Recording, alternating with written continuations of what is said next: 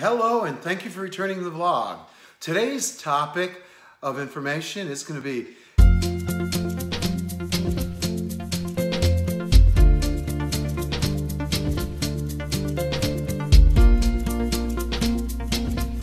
easy home accents to upgrade your space.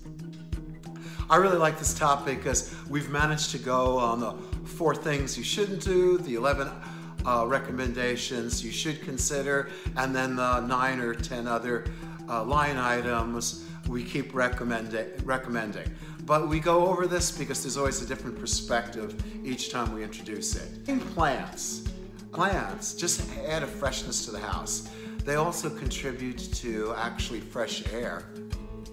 So they're good to have around, they're pleasant, and if you water them, they could last years and years. I've had a couple of small trees in my house that lasted me, gosh, over 10, 11 years. And any reason, and any their dying is completely my own.